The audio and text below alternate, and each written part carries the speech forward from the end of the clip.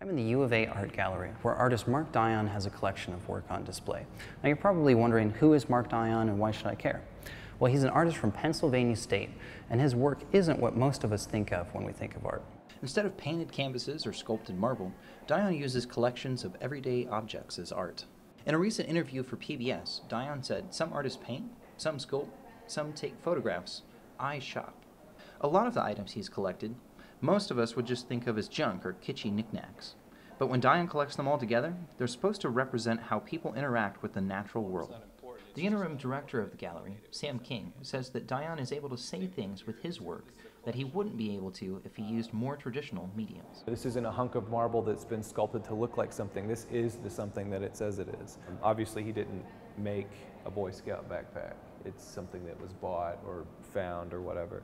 Um, it's more about what he's trying to say with the work. It's, it's that he's trying to um, make, make a kind of point about something.